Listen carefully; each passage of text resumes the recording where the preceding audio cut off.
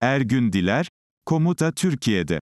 Bir ülkenin geleceğini anlamanın yollarından biri, aldığı alacağı rolleri önceden görmenin kolay yolu, dışarıdaki kulvar tercihlerini iyi izlemektir. Attığı adımlar, yaptığı hamleler, kurduğu ilişkiler ve yer aldığı ittifaklar önemlidir. Ve en önemlisi küresel bir çatışma vardır ve sizin nerede kiminle ya da kimlerle olacağınızı bilmeniz ya yolunuzu açar ya da tamamıyla kapatır. Bu altın kuraldır. Çokça söylendiği gibi sıfır sorun diye bir şey yoktur. Olamaz da. Binlerce sorunun yaşanmasının nedeni, dünyanın çatısındaki amansız mücadeledir. Yani kimse dışarıda kalamaz. Bir tarafı olur. Aksi masaldır. Kimsenin kimseyle mücadele etmediğini düşünmektir ki bu da hayalden öte bir noktadır. Dün İskenderiye Limanı'nın Türkiye'ye verilmesi için Hindistan medyasında çıkan iddiayı buraya taşımıştım. Gerçekten stratejik olarak çok önemli bir zıplamaydı. Yazan da çizen de dışarısı. Türkiye'de gündeme geldi mi bilmiyorum ancak çok kritik bir park yeri. Çok iyi takip edemesem de dikkatimi çeken gelişmelere uzak değilim. Bunlardan biri de oldukça etkili bir isim olan ABD'li senatör Chris Murphy'nin Türkiye'ye gelmesiydi. Başkan Erdoğan ve Dışişleri Bakanı Hakan Fidan'la görüştü. Bu benim şablonuma uygun bir ziyaretti. Önemliydi. Murphy, daha sonra Reuters'e konuştu.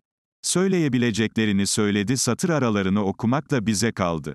Murphy, ilişkilerde yeni amaca uygun iyi hislerin olduğunu kesinlikle görüyoruz. Görüşmelerimizin tümünde bunu yakından hissettik. İsveç olayına bakış, F-16'ların çözümü ve yaptırımların birlikte uygulanması konusunda çalışmalarımızın hızlanacağını, kolaylaşacağını düşünüyorum. ABD ile Türkiye arasındaki yakınlaşma Suriye'de de yakın çalışma fırsatı sunuyor, diye ziyareti değerlendirdi. Senatör demek, ABD devleti demektir. Sık sık yazdığım gibi Victoria Nuland'ın da gelmesi ve gülerek ayrılması iki ülkenin ilişkilerde makas değiştirdiğini görmemize yetiyor da artıyordu bile. Neyse. Bence ABD ile açılan yeni sayfanın etkilerini bir başka çıkış ile görebiliyorduk. Somali Cumhurbaşkanı Hasan Şeyh Mahmud, dünyaya çok önemli sözlerini duyuruyordu, Türkiye ile yaptığımız anlaşma tarihin akışını değiştirecek. Türkiye Somali'de terörizm, dış tehditlerle mücadele, kıyıların korunması ve deniz kaynaklarının geliştirilmesinde koruma sağlayacak. İki ülke ortak deniz gücü oluşturacak. Türk kardeşlerimiz 10 yıl boyunca bizi koruyacak dedi. Bu hayati önemde bir adımdı. Uluslararası kaynaklara bakıldığında da bu görülüyordu. Avrupa Birliği'nin net olarak desteklediği Etiyopya'nın bu anlaşma ile Somali toprakları üzerinden denize inme hayalinin son bulduğunu görmek mümkündü. Yani inanılmaz kritik bir bölgede Türkiye Avrupa'nın önünü kesiyor denizle kurduğu hayali bitiriyordu. Küresel mücadelede AB'ye bir yenilgi daha yaşatıyordu. Kasım 2023 gibi Almanya Başbakanı Olaf Scholz, iş adamlarını topluyor ve Afrika'ya hedef gösteriyordu, kıtaya gidin. Yatırımları artırın. Özellikle Etiyopya'yı ilk sıraya koyun. Almanya gibi Fransa da aynı yolu izliyor, aynı hedefe kilitleniyordu. Türkiye gelip taşı koyuyor ve AB'nin stratejik olan bölgede denize ayağını sokmasını engelliyordu. Somali, Hint Denizi ile Kızıldeniz'i Akdeniz'e bağlıyordu. Babül Mendeb Boğazı, tam da buradaydı. Boğazın askeri stratejik ve ekonomik önemini aktarmaya gerek yok. Petrol trafiğinin ana üslerindendi. Çin'i Avrupa'ya Akdeniz'e bağlıyordu. Yılda 350 milyar dolarlık petrol geçişi sağlıyordu. Petrol ticaretinin %25'i buradan yapılıyordu. Yılda en az 35 bin gemi bu su yolunu kullanmaktaydı. 2 trilyon dolarlık ticarete ev sahipliği yapmaktaydı. Asya'nın en ekonomik yoldan Avrupa'ya bağlanmasının adresiydi.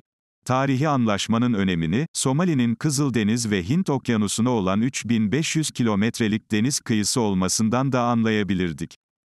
Yani elmas değerinde bir öneme sahipti. Ve Türkiye şimdi sınırlarından çok uzak olan bu bölgenin kontrolünü ele geçirecekti. Asya ile Avrupa'yı birbirine bağlayan denizleri geçişleri elinde tutacaktı.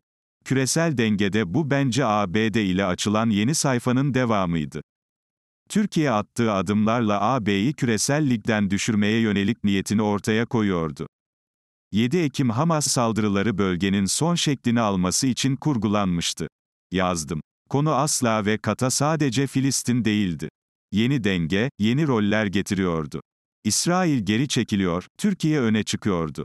Bölgede tektonik gelişmeler yaşanacaktı. Türkiye'nin içinde yer almadığı planlar ya hayata geçmiyor ya da sancılı ve maliyetli oluyordu. Gördüğüm, ABD ve Türkiye'nin yeni rota oluşturduğuydu. Bu küresel sonuçlar doğuracaktı. Avrupa kontrol edilebilen uysal bir ruh haline bürünecek, Çin'de tek ve büyük olma hayalini buzdolabına kaldıracaktı. İşte Türkiye'nin yer aldığı oyun böyle sonuçları beraberinde getirecekti.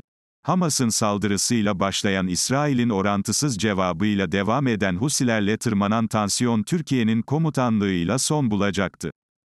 Yeni denge yeni oyunla değişecekti. Bunun sonuçları da ileride karşımıza tarih olarak çıkacaktı.